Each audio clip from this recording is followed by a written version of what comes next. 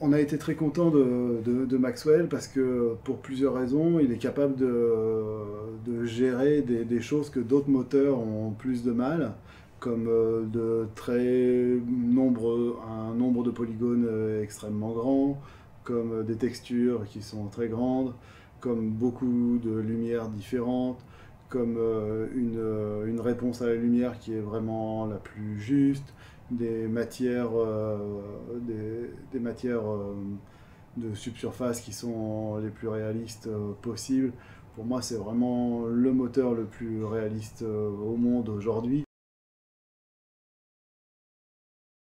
C'est pourquoi on l'utilise, depuis plus d'un an. On a plusieurs clients qui sont tellement contents des images qu'on a sorties qui ne veulent pas communiquer sur le fait que c'est des images euh, faites en images de synthèse, mais qui préfèrent laisser le doute à savoir si elles n'ont pas été tournées. Euh, et donc ces clients ne veulent pas communiquer dessus et pourtant malheureusement, enfin, c'est de très belles images sorties avec Maxwell. On en est très fiers. I'm Nicolas Trottignon. I'm Ludovic Waro. I'm Julia. I'm Thomas. And I'm Bernie. Avant, euh, quand bossait avec euh, Viré ou Mental Ray, euh, le workflow c'était plus de monter l'éclairage petit à petit et de travailler en parallèle les matières, etc., pour arriver à un résultat final. Euh, seulement, les, du coup, en, cours de route, euh, l'éclairage changeait, les matières changeaient aussi. Et c'était beaucoup de, tweaks et de travail. Et ça, demandait aussi beaucoup de travail de compositing, parce qu'on travaillait, on sortait souvent des passes séparées, des AOV, de la réflexion, la réfraction, la diffuse. Et on venait souvent recomper tout ça au compo. So yeah, we'll, we'll definitely do the displacement, we'll definitely do the motion blur and the depth of field. Whereas uh, before we had to make sure at one stage we would um, like output the passes and then do a stage where we check that it works. I think it, now it's more about talking with the, the client because uh, yeah we don't have to talk about uh, is it realistic or not but uh, is the lighting fits you or, or not it's more interesting, but uh, it's a different way to speak with the client.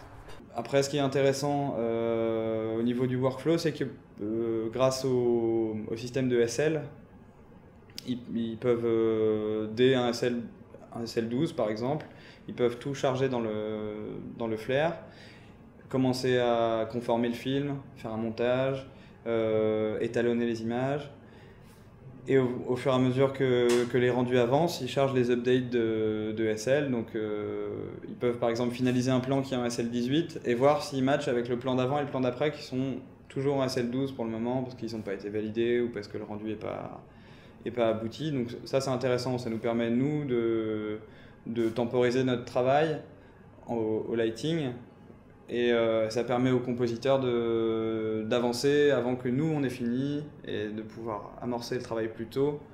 Ça nous permet plus de travailler ensemble que l'un après l'autre, comme on le faisait avant.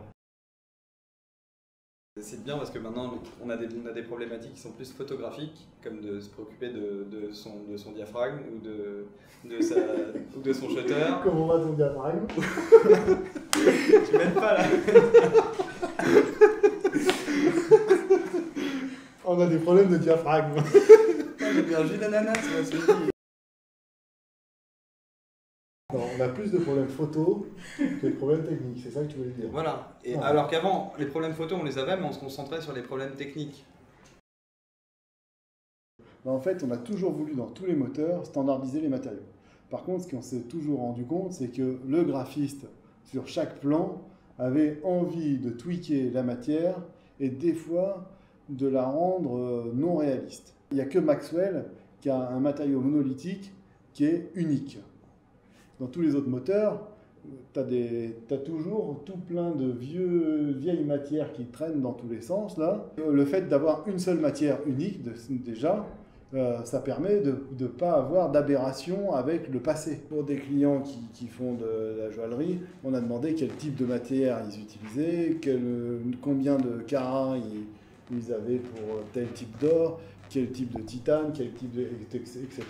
Et ça, on essaye de, retrouver euh, soit des indices mesurés, euh, de récupérer des indices mesurés qui sont fournis par Maxwell, euh, soit de mélanger nous-mêmes trois types de métaux parce qu'on nous les a donnés à tel type de pourcentage. Et comme ça, on a des matières qui sont forcément les plus proches de la réalité. Depuis qu'on a commencé à travailler sur Maxwell, euh, on n'a plus la même façon de comper parce qu'en fait, on n'est plus dans du compo, on, est, on se rapproche de la finalisation de l'image. On a la sensation en fait de retrouver euh, ce qu'on fait en général sur des images tournées. Et Maxwell euh, bah, nous évite un peu plus la tâche de compo et nous ramène vers le travail de finalisation. Donc pour nous, c'est vachement mieux adapté, c'est plus rapide, c'est moins de batch énormes, ingérables, donc en publicité, c'est plus agréable. Euh, mais le travail de compo technique, effectivement, on commence à l'éviter de plus en plus. Après, moi, ça me dérange pas du tout. C'est pas le travail compé technique, ça m'intéresse pas vraiment. Ce qui nous intéresse, c'est de faire de la, de la beauté sur l'image et de, rendre ça encore plus beau. C'est pas euh, si empiler des couches, c'est pas très intéressant. On a travaillé sur euh, au moins 20 projets avec Maxwell, dont un très ambitieux qui est la suite euh, d'un projet quartier qui nous a pris beaucoup de temps et sur lequel on a fait de, belles images.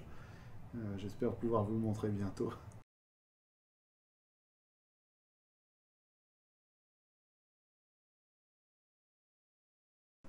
si j'avais quelqu'un à convaincre d'utiliser Maxwell, ça serait pas tant dans les features, ça serait de lui dire que, euh, eh ben, certes, en fait, euh, certes, il pense que le moteur est long, mais au final, il va gagner du temps parce que le temps de mise en place est assez rapide. Et euh, bizarrement, le temps de l'ordinateur, on s'en fiche un petit peu.